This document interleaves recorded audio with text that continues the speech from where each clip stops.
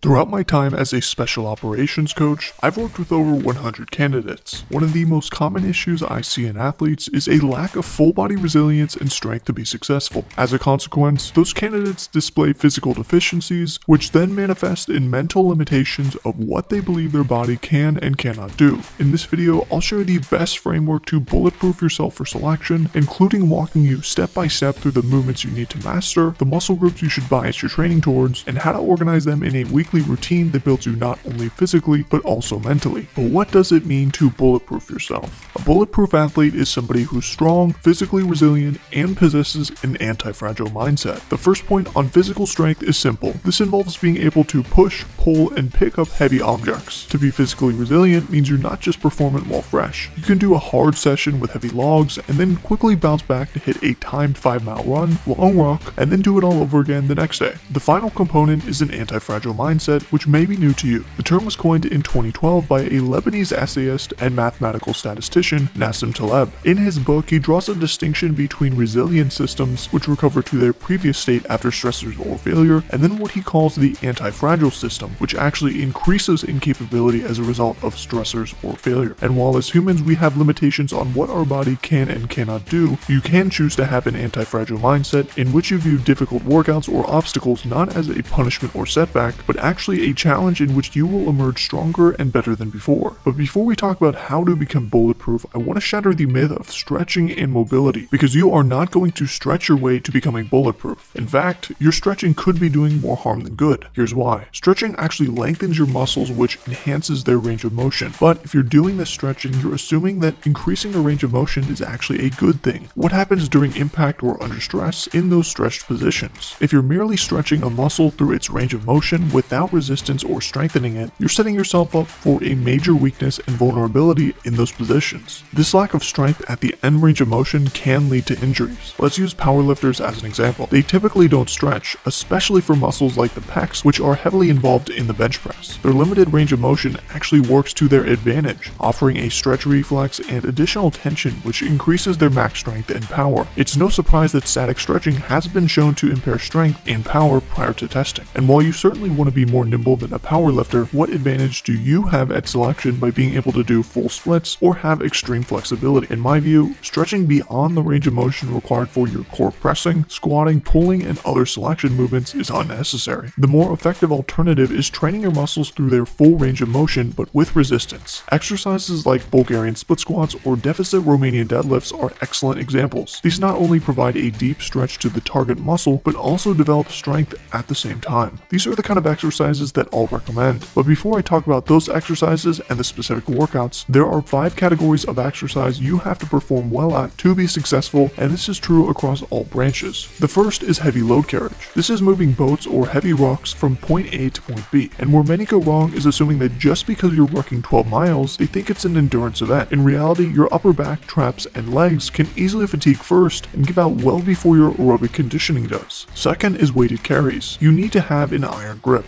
and no matter how fast you are, it doesn't matter if you can't pick up or grip the weight. Third is unweighted running, not just to hit your timed 4 or 5 mile runs, but you also need to be comfortable and efficient at low intensity paces for long durations day after day, especially when transitioning between events. Fourth is multi-purpose calisthenics and strength. This is a catch-all category for your calisthenics sessions, obstacle courses, or any other multi-purpose set of exercises. For this, you need to be well-rounded and have a high level of strength endurance. And then fifth is swimming and water confidence. If you're already training the first four categories and in good shape, all you need to do is master the technique. The master guide to swimming in water confidence is on the channel and will be linked in the description. Across these exercise categories, there are three body parts that I bias my athletes training towards to maximize their chance of success. First is the legs. It's possible to get selected without squatting or deadlifting, but where all else is equal, stronger is better. And there is no muscle group that takes more of a beating across running, rucking, and load carriage than the legs. And the best way to train them is through heavy squatting and deadlifting. Pistol squats and bodyweight lunges do not come close to the stimulus you achieve when hitting deep, full range of motion Romanian deadlifts or squats with 225 or more pounds. And the back is the second most important body part. Weighted pull-ups and heavy rows are staples of my athletes' back training. Not only do these improve your pulling strength and have the nice side effect of training your grip, but we're also improving static back strength, which is often overlooked. Static back strength is critical so that when you're on mile 9 of your 12 mile run,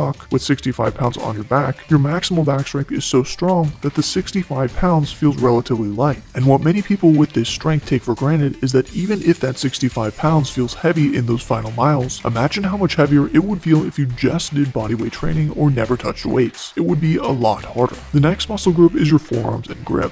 There's a lot of ways you can train grip, and it's not just through targeted training like dumbbell or trap bar farmer carries. Heavy dumbbell rows and pull-ups both train the forearms, and I also like static holds, which can be combined with abdominal work like leg raises and toes to bar. What I want you to understand is that to become bulletproof means you need to get out of your comfort zone. This means taking some time away from the calisthenics, rucking, running, and swimming, and developing a base of strength and muscle mass to become physically resilient. There is a reason why a study of 795 candidates at Army Special Forces Assessment and Selection found that muscle mass was the greatest predictor of success, and the candidates in the top quartile of muscle mass had six times the odds of getting selected than those with the least amount of muscle mass. Even if you're maxing the PST, IFT, or APFT today, if you don't have experience under heavy weight, your central nervous system has never felt or acclimated to the stimulus and fatigue that comes with heavy strength training. But it's not only strength gains you're losing out on with resistance training. When you do it, you're also building up your ligaments and tendons, increasing your bone mineral density, which reduces your odds of injury. This is well documented that candidates with higher bone mineral density have greater odds of selection success. Just look at the chart. But that doesn't mean that you need to train like a powerlifter or even train strength more than three times per week. Here's a simple two day per week full body workout to train both strength and strength endurance, which leaves you plenty of time to focus on your running, rucking, and non-impact cardio. Both workouts begin with three to four heavy compound exercises with an extra focus on the back and legs. You'll notice that each day includes a single heavy pressing movement, either overhead press on day A or close grip bench press on day B. And following the compound exercises, you will jump into a multi-round circuit. I've chosen exercises to bias muscle groups which are especially important at selection. However, you should adjust these workouts based on your strengths and weaknesses. To become bulletproof, you also need to prioritize your endurance and have experience being on your feet for long periods of time. This means hitting your long 2 hour or more rucks and 9 plus mile runs. This workout split includes our two heavy strength days, one calisthenics session, a selection specific workout, and four running or rucking sessions. What you'll notice about this routine is that we begin the week with our high intensity strength session and hard running or rucking intervals all on the same day. And to many, this is counterintuitive, but here's why it makes sense. Since they're both taxing the same muscle groups and both workouts will require a significant amount of time to recover, it's better to condense your lower and interval session into a single workout a day so you're not destroying yourself twice in the same week.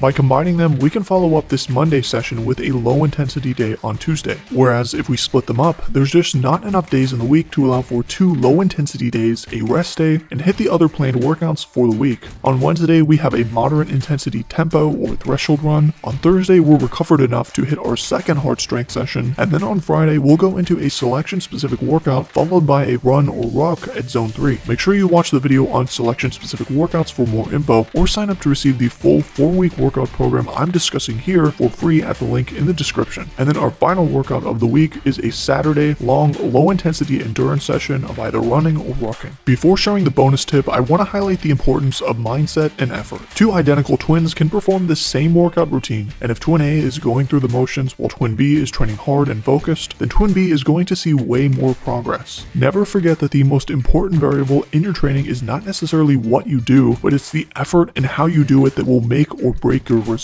Every week you should have a few workouts that you feel a healthy amount of anxiety for because you know they're going to be hard. You need to embrace the anti-fragile mindset and acknowledge that it's in those workouts you're testing your limits. And you may even fail to meet your own expectations, but that's okay if that happens. Give it your best and then come back the next day mentally stronger with an understanding of what it takes to be better. I also want to point out that not every session should be max effort. That's why when you look at the workout routine that I've shared, there were two high intensity days and not seven. If you're training to max effort every day, I'm sorry to say that either you're not doing that or that routine is not sustainable for more than a few weeks. My bonus tip for this video is to not overthink it. There's a lot of variables that you can juggle and think about in your training. I want you to look at your routine, make the adjustments that you have to, and just do it. Do your best to eat well, sleep well, and train hard, and that's where the progress is going to come from. Focus on mastering the big blocks of your training and getting them right, rather than on micro optimizations that won't make a big difference either way. If you enjoyed, like this video, and to learn how to master swimming in water confidence, click the video on the screen.